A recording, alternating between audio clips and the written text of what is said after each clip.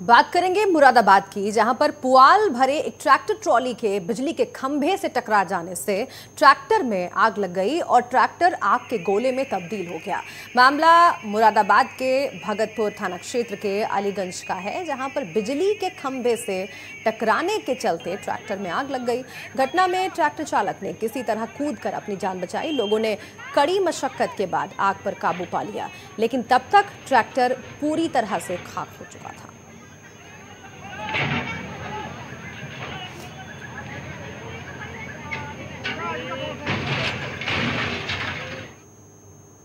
बरेली में एक दर्दनाक सड़क हादसे में छह लोगों